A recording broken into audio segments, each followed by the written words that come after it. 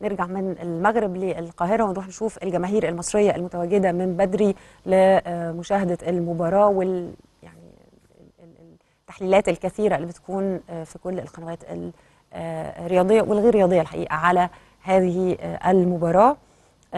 معانا زميلنا محمد رياض. محمد فين؟ موجود في أحد المقاهي. محمد مساء الخير. مساء الخير عليك إيمان. ازيك يا محمد؟ قول لي إيه الوضع عندك الناس بتستعد إزاي؟ وفي حضور كبير علشان الناس تتابع الماتش.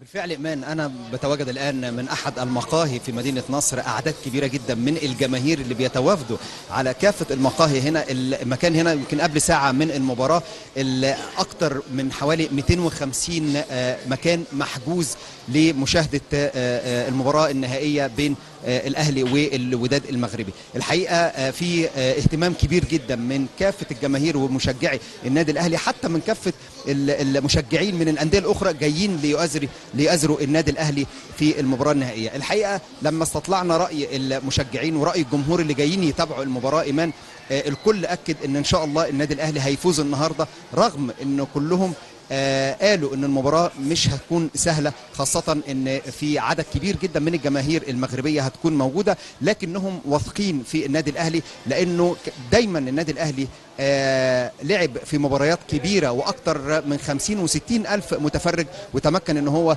يفوز ويحصل على العديد من البطولات.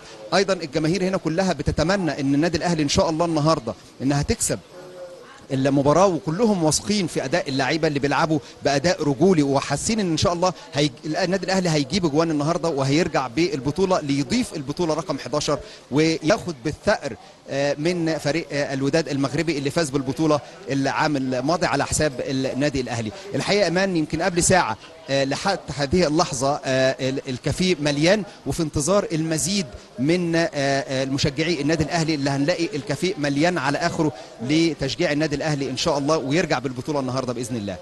هرجع لك تاني يا محمد. يعني بعد قليل إحنا هنفضل متابعين لغاية بدء المباراة اللي هتبتدي إن شاء الله في تمام الساعة العاشرة بتوقيت القاهرة. بشكرك شكرا جزيلا.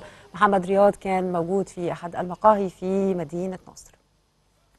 هرجع تاني للمغرب لمتابعة مباراة النادي الأهلي والوداد المغربي. معانا الأستاذ محمد رضا بوحوتة الصحفي الرياضي من المغرب. أهلا بحضرتك. أستاذ محمد رضا.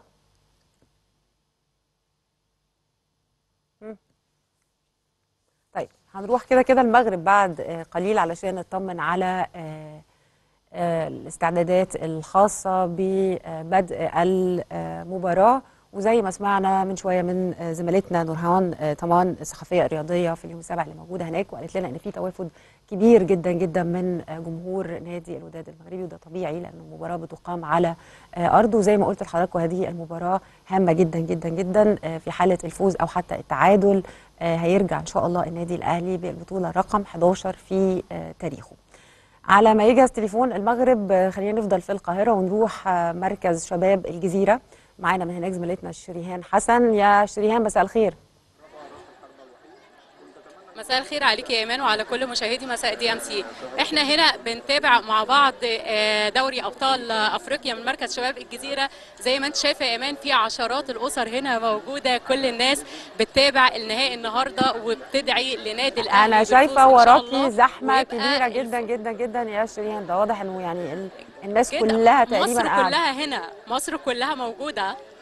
مصر كلها موجودة كمان. يا إيمان إحنا ممكن آه في هنا آه سيدات بسيطة جدا عمرها بيتجاوز ال 60 وال 70 سنة موجودة وفي أطفال صغيرة زي ما قلت هنا أسر كاملة جايين بالأكل والشرب كلهم قاعدين مستنيين يشاهدوا مباراة الأهلي النهارده والناس كلها بتدعي. وفي كمان اللي اكتشفته حاجة حلوة جدا في بعض من جماهير نادي الزمالك عمالين يقولوا النهارده يا رب الفوز لنادي الأهلي لأنه بيلعب باسم مصر النهارده. اتكلمتي مع الناس يا شريان يعني انت بتقولي الناس كلها موجودة موجودين من بدري و... ولما اتكلمتي معاهم إيه توقعاتهم إيه بيتكلموا في إيه منتظرين إيه إن شاء الله من اللاعبين في هذه المباراة؟ آه، كل الناس النهارده متوقعين ثلاث أهداف لنادي الأهلي مقابل صفر لنادي آه، الوداد إن شاء الله علشان يحقق الفوز ويكسب ليه المرة ال11 بإذن الله لأن النادي الأهلي تتوج 10 مرات. آه، في هنا الناس جاية من شبرا وجايين من أماكن بعيدة جدا حتى لما اتكلمت مع آه، سيدات بسيطة جدا فبتقول لي يا رب الأهلي يكسب. بقول لها ليه الأهلي يكسب؟ قالت عشان مصر كلها تفرح النهارده. الأطفال كلها قاعدة عمالة بتقول يا رب آه، الأهلي يكسب وكل الناس متفائلة جدا. في ناس هنا موجودة من الساعة واحدة الظهر جم قضوا اليوم هنا في؟ مركز الشباب وقاعدين حتى نهاية المباراة. أبطال وإن شاء الله يعني إن شاء الله يروحوا مبسوطين. بشكرك يا شريان وهرجع لك تاني قبل ما المباراة تبدأ على طول. هرجع لك تقولي لي كمان الأجواء عاملة إزاي في آخر بقى خمس عشر دقائق كده قبل ما المباراة تبتدي. شكرا شريهان حسن من آه، مركز شباب الجزيرة.